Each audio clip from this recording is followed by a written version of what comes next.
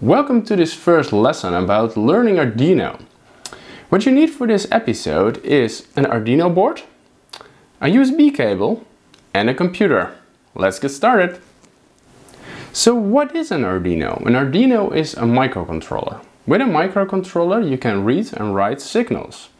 These signals can be analog or digital. Digital signals are only true or false or high or low.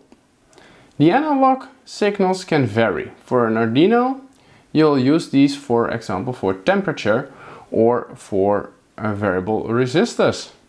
What these are we're going to show you in a later episode. So first start with this Arduino board. I'm going to explain the components to you. On the front we have the USB connector and the power plug. The power plug is uh, used when you're using an external power supply. So for example, if you don't have a computer nearby where you can plug in your USB cable, you can use this power, uh, power socket to connect an external adapter. To read these digital and analog signals, we have to use pins. The pins are all labeled. Here we start with 13 and we go all the way back to pin 0. These are digital pins, so these can become 1 or 0.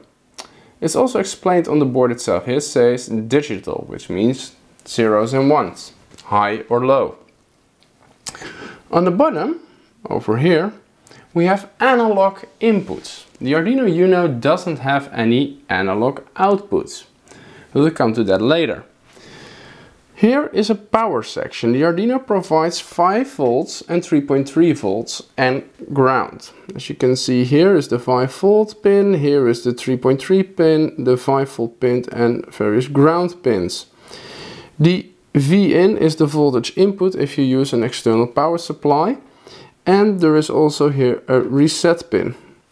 The nice thing about this Arduino Uno is that there is also a LED here marked with the L we can program this LED and that's what we're going to do in this tutorial. On the top we also have a reset button. If you press this one, the board will reset and start its program all over again. Let's get started.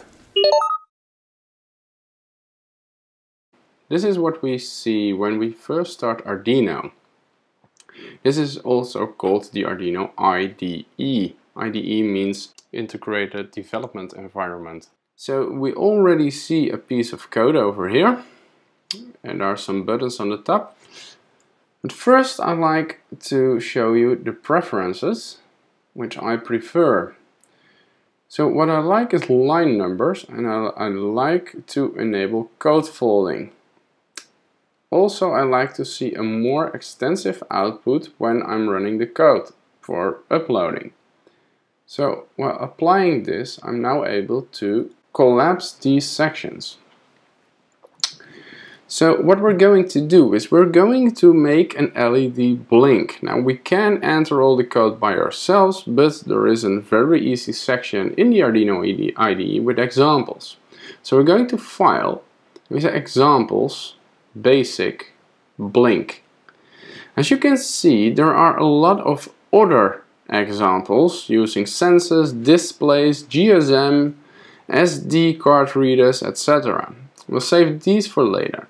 So first we click on blink and a new sketch appears. This is actually very easy, but we're going to walk it through. First we start with a forward slash and an asterisk. It has an open and closed section. This is for multi-line comment. So the compiler of our code doesn't look at this. The same goes if you use double slash. Double slash means ignore this line, but it's very useful to add comment. So as this line already says, the setup function runs once you press the reset or power the board. It's run once. So what they do here is to say we want the built-in LED pin set to output. So we're going to send something through it and we're not going to read its value. So when we have set this LED built-in pin, here usually you can add uh, set the pin number, We continue with the loop. When our program executes, it infinitely loops through the instructions in the loop function. So what it's going to do is it goes to digital write to the LED built-in pin and we'll make it high. High means 1 or means there is current flowing through. So when we make the built-in LED pin high, the LED will turn on. We continue with a delay of a thousand milliseconds. Well, a thousand milliseconds is the same as one second. Then we continue to write an order value to the LED built-in pin, which is low, so the LED turns off. Then we add an order delay.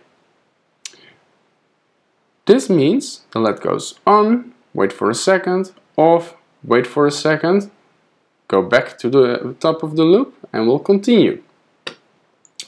That's all for this sketch. So what we're now going to do is to connect our Arduino and upload the sketch. Best practice is to first verify the sketch. If I click on this button, we'll see a lot of things going on here. And that's verifying if our sketch is correct. Well, there are no errors here. It says done compiling, so we know this code is correct. It doesn't mean that it will do what you think it will do.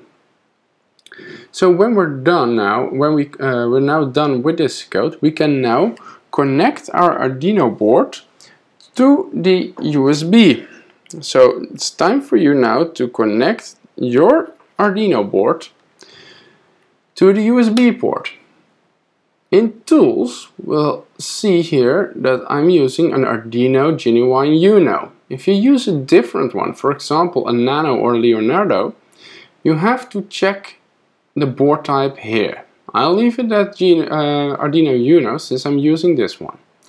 Then we have the ports. Make sure you select the correct port of your Arduino. Usually it looks something like this, like USB serial or it looks like Arduino.